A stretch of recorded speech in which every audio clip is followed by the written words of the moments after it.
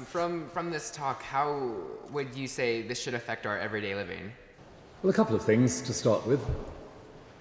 One is that I think it's very important that we work out day by day what it is that keeps our vision fresh.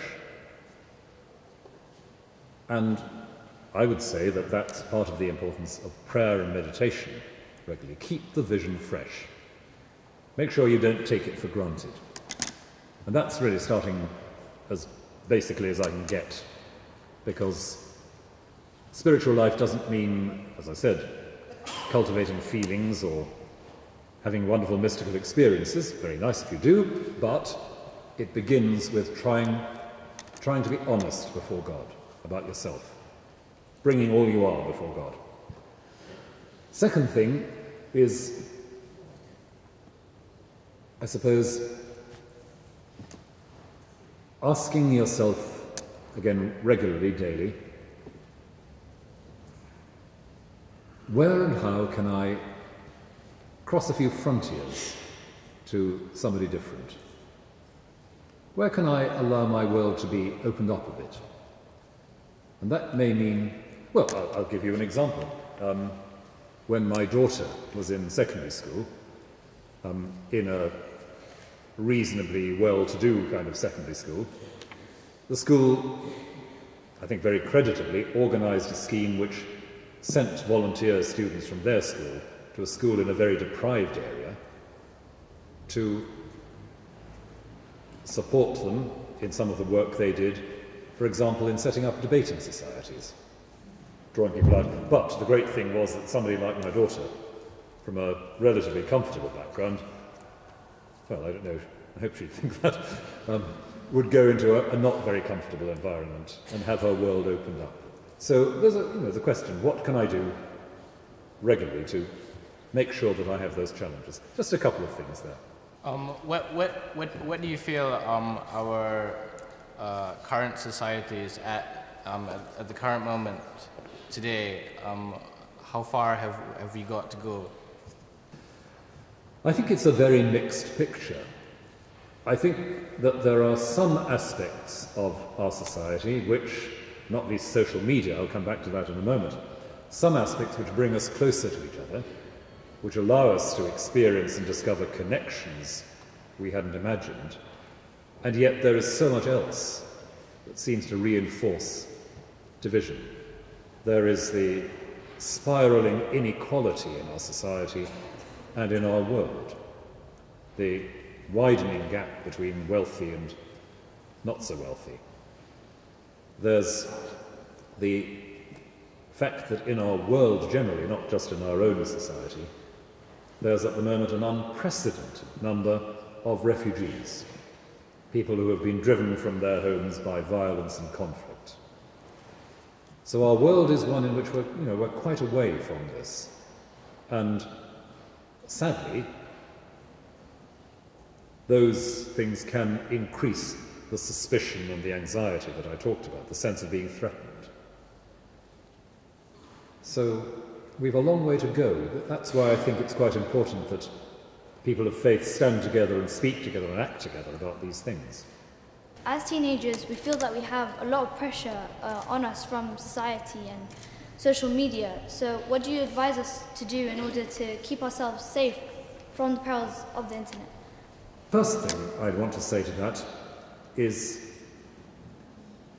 that sadly there are not going to be completely safe places. We're all exposed to this all the time. And that's why we have to go inside to discover the roots of our own strength and our vision. And it's back to what I said at the beginning. The daily discipline that brings us before God and that asks God to keep us honest and clear, clear-eyed. And I think one of the most important ways in which we can keep vision alive for ourselves is also making sure that we talk to our friends about these things and not necessarily on Twitter. You know, we talk face to face. I'm not one of those people who think that social media represents the end of the world. It really doesn't. But it doesn't substitute for conversation, and the warmth, the extra dimension that comes from seeing somebody else's face, which is not quite the same as FaceTime. so I'd say make sure that you, well, let me again use an old Christian image, that you unveil your face before God and you unveil your face before other people, before your friends and your neighbours. And that will, I think, keep you connected to some of those inner resources that will help you resist the pressures around the trivializing, the, the gossip, the demeaning, all those things which make a lot of our social currency pretty worrying. So go in and link up with real people. What can you suggest in enhancing trust in building interfaith relations between communities? Friendship has a great deal to do with it. Um,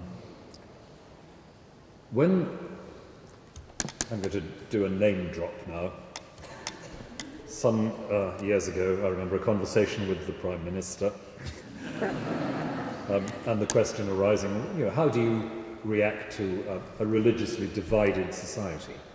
I said, actually, I don't believe this is a religiously divided society. I believe it's a diverse society. A divided society is one in which it's really difficult, if not impossible, to make friends across frontiers. A diverse society is one in which it's possible and imperative to make friends. And when I look at a lot of local communities and see examples of work together for the service of the community. The, some of what's been done in the Near Neighbours programme, some of what's been done in places like Birmingham and Burnley in common witness and service. I think that's where people discover that the diversity around them is a resource, not a menace. But it comes when some of that face to face relationship develops, I think and you realize that the other person wants so much of what you want. They want emotional security, a sense of purpose, a sense of dignity. And that's, that's where it comes alive. And that mustn't just happen at the leadership level, it has to happen, well, with all of you. I just wanted to ask if you thought that if living in such a diverse society promotes spirituality and harmony between people from different backgrounds. Well, not automatically, of course, because when you encounter diversity, as I've said, that can make you anxious, and that's the opposite of being spiritual. But it does seem to me that when you do live in a very diverse and rich and complex environment, you have the opportunity of growing spiritually in a very rare way. How should I put it? It seems to me that the more diverse communities and people you encounter, the more you can say, God gives richly. God doesn't just give me people like me, but people who are not like me, which means that I, I grow more fully because of that. So I think diversity can be a positive thing. I'm not saying it has to be because we're human, you know, we, we back away sometimes from the challenge. But you talked about embracing the now, but many of the issues of society have long term causes and long term solutions. So, how do you uh, reconcile these com- competing timelines? That's a, a most interesting point, and you put your finger on something that's crucial here. When I talk about trying to relate to the here and now, I hope that doesn't mean that we stop thinking about the long term. What I'm suggesting is we, we oppose living in the here and now to living in the world of fantasy. But living properly in the here and now is our best way, of course, of tackling the long term. Take issues around climate and environment, you know, the, the great long term crisis in a way. I think we begin to respond adequately to that when we recognize that in the here and now, we are seeing already signs that many people want to ignore. And again, we ask for our eyes to be open to see more clearly what's going on here and now, so that we respond more adequately tomorrow and the day after. But sometimes, you know, there's, there is a way of saying, well, the problems are so big and so long term that I won't, won't bother about doing anything today. I'll just think of the long term, the big picture. And that's another temptation. So, long term effectiveness begins in here and now attention. And I often quote here something that was said by the Christian reformer Martin Luther. He said, If I knew the world was going to end tomorrow, I would plant a tree. That sounds absurd, but I think what he meant was planting trees is a good thing. And if it's a good thing, it's a good thing, even if the world's going to end tomorrow. And that, that's, I think, a, a good sense of the here and now. Um, what are your views regarding how social media has affected young minds? I said a moment ago that I don't feel social media developments are the end of the world, and I don't think that the younger generation is being turned into a, a sort of mutant population of screen obsessed zombies. Some newspapers seem to think so, but I, I'm more optimistic. But there are a couple of things we have to really keep an eye out for with social media. One I've hinted at already, and that is it's sometimes a lot easier to say things through social media that we wouldn't say to another human being's face. And that's a way of backing off, a way of escaping and denying. Keep an eye out for that. Even exchanging emails.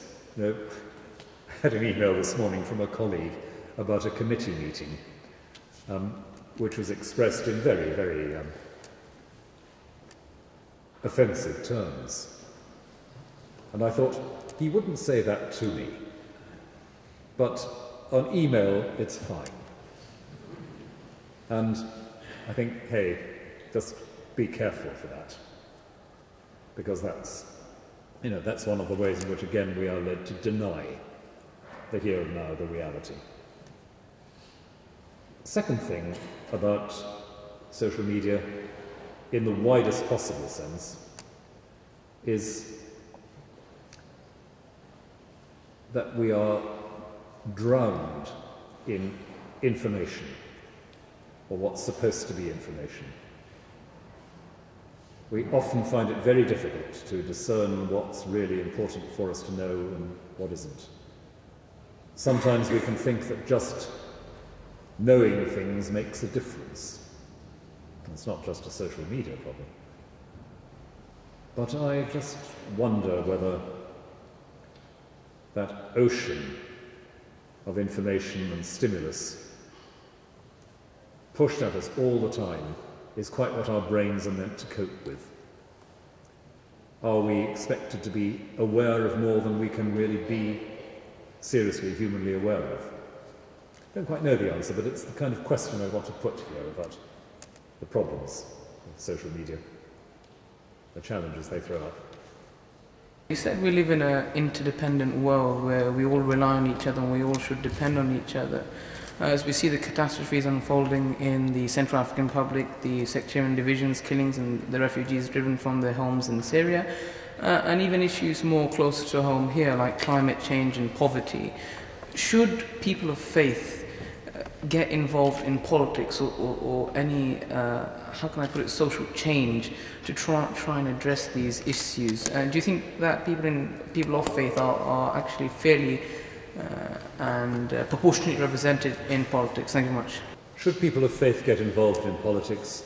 Absolutely yes. Um, I think the, the mistake that sometimes made and the resistance that sometimes meets is to do with any suggestion that our faith mandates voting in a certain way, as if you know, faith backed one set of policies, one party rather than another.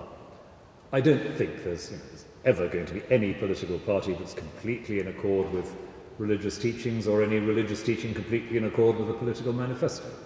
They're different sorts of things. But, but we are citizens, and as citizens, we exercise the power and the liberty we have as citizens to make a difference. One of the ways, not the only way, but one of the ways to do that is through political processes. Um, Russell Brand may think it's a silly idea to vote, but I'm afraid I disagree rather strongly with him about that. I think politics is too important to be left to professional politicians. And we need that kind of groundswell of community pressure and vision and activism to keep things moving. So, yes. I wanted to. You spoke a lot about how diversity plays a massive role within a city and how it's important to acknowledge that diversity. Um, on that point, what is your opinion on um, the way the government is currently um, acting towards um, immigrants, most notably from Bulgaria and Romania, and more recently with the immigration bill and how that's creating this level of um, sectarianism, if, if you will, and also hatred towards um, immigrants, and you can even go as far as arguing hatred towards diversity within the city or incoming diversity. I think this is one area where it's extremely difficult for many people in this country to have honest discussions and it, it's, it's a shambles. I was deeply shocked by those advertisements that appeared briefly, basically saying if you're an illegal migrant, go home. I'm very anxious indeed about some of the language that's used around sort of penal sanctions in this area. And of course, the hysteria that was whipped up at the beginning of the year, as you say, about Eastern European migrants, was utterly extraordinary. Again, the assumption these are people who are after what we've got. Sharing makes us weaker. You know, that's the bottom line. But in this area, we are, of course, up against a very deeply entrenched set of public views, quite widely shared, it seems, which are easily swayed towards fear. Politicians depend on those people's votes, and very often, whether they're left or right, they'll go along with those. And that's one of the really sad things about our climate at the moment and one of the things I'd like to, to see, I'd like more than anything, to see changed. That people fall over each other to be you know, more harsh on migrants than the next person. The fact is, this is a society built on migration. I'm a Welshman, and of course, the first great migrant problem in the UK was the arrival of the English. um, and some Welsh people feel rather strongly about that still. We've always had that sense of new communities arriving, modifying the kind of society we are, we move on together. And while there are perfectly reasonable questions to ask about what is a manageable level of migration, and perfectly reasonable questions to ask about um, the risks of draining talent from other societies to, to work here. And while there are real problems about the, you know, the attractions of a low-wage economy to immigrants, none of that ought to make us buy into this language of, as I say, deep anxiety and insecurity. So you're right to say there's, there's a problem there. And I wish we could be a bit more honest and a bit more generous and a bit more, you know, positive overall about this. Very interesting recent book, if anybody picks it up, by Paul Collier, which is called Exodus. And it's an analysis of patterns of migration. And it does dissolve some of the myths about what immigrants do to the host society, while also raising some quite important bigger questions. So it is possible to begin a slightly more sensible discussion. I'm really interested, uh, having led the whole Anglican Communion in some way, how do we begin to lead uh, one small group of people in the church or in uh, whatever group we're in, in this direction of seeing other people in a different way. I got thoroughly fed up with being asked about leadership in my 10 years as Archbishop, because I was usually being asked by people who thought I wasn't exercising it, so naturally I got a bit cross. But one of the things I sometimes said was leadership is basically, well, Christian leadership, let's say, is about whatever it is that brings about a Christ shaped difference. Now, translate that into the terms of other religious communities. Religious leadership is what brings about the kind of difference that reflects more clearly the fundamental vision of your faith. So, it's not always throwing your weight around, it's not always giving yourself neat and simple targets that will look good. It's bound in with this task of trying to be honest day by day and honestly trying to bring about a difference that, as I say, reflects a bit more the basic value.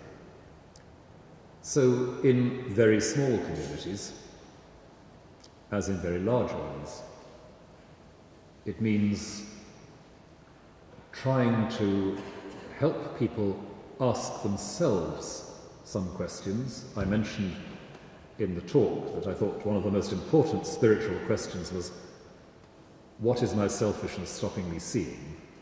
Or what are my fears stopping me seeing? And I think part of leadership is just being alongside people while they're asking that question and trying to insist gently but firmly that it's a question that can't be avoided. What are you not seeing? and what's stopping you seeing it. And that's the beginning of change, I think. A lot more that could be said, but that's where I'd start. I wanted to ask you a question which I'm afraid comes back once again to politics and leadership. And I wondered if you could give us some recommendations for practical mechanisms for influencing political engagement on an interfaith basis and gaining traction around some of those really big issues, such as challenging the rise of the far right and racism. Thank you. Years ago, when I was working in Wales as a bishop, and the general election came along, the local churches in South Wales decided to make a major thing of organising public meetings for all parliamentary candidates, where there would be free questioning, not just a you know, presentation of views.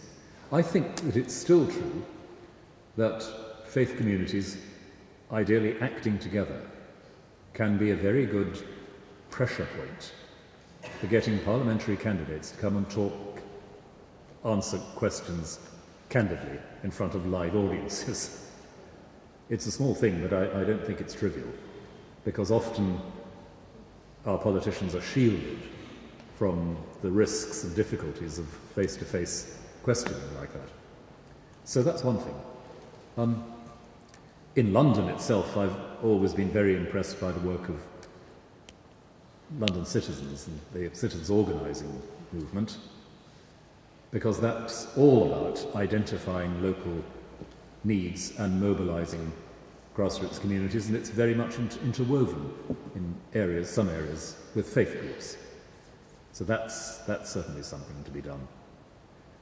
I think also it's, it's important just for groups of different faiths to, to get to get together not just for, for campaigning, but also for reflection on their context, so that people from different groups meet simply to say, well, you know, I think this is the issue that's coming up. I think this is where the shoe is pinching for this particular neighbourhood.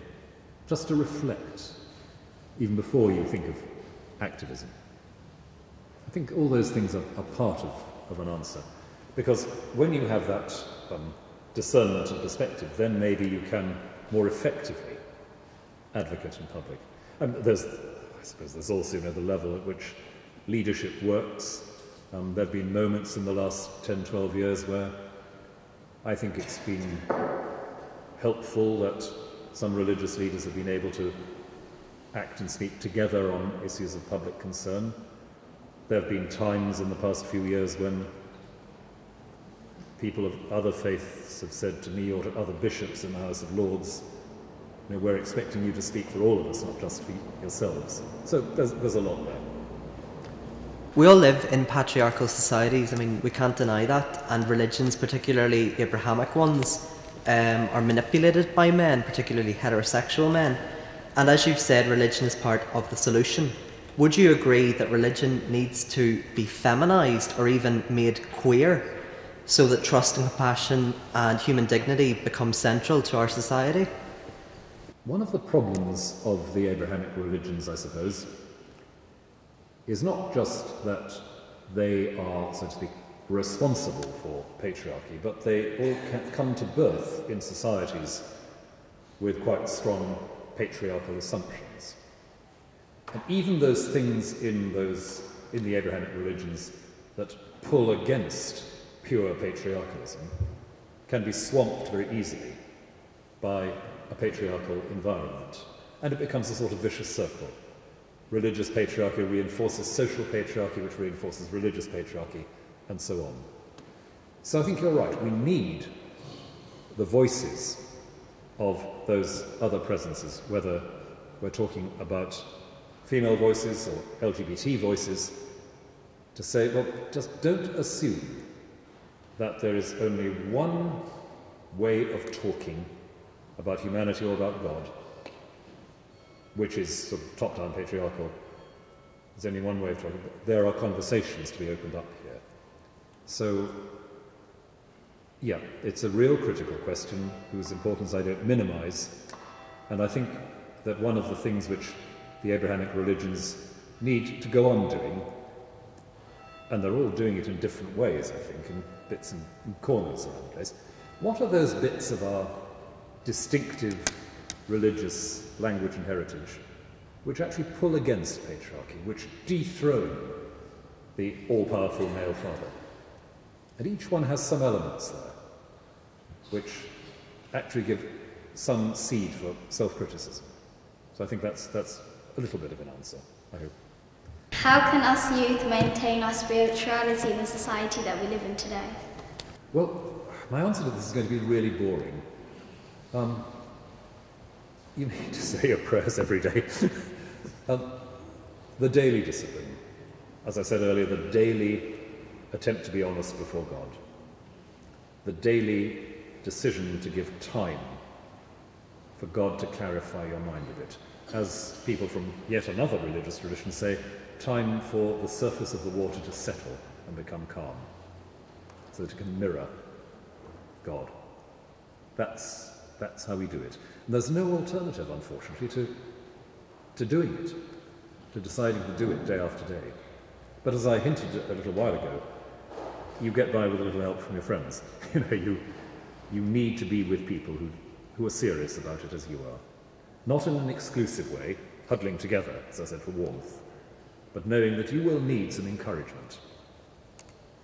And when I've taken confirmation services in the church, often for young people who are making a commitment to faith, one of the things I've almost always said in sermons is make sure you've got some friends who are serious about this, and all of the rest of you in this congregation, bear in mind this young person making a commitment is going to need your support. We can't do it on our own. And communities need to be really serious and careful about nurturing commitment in their younger members. And we all need to take responsibility for ourselves with that.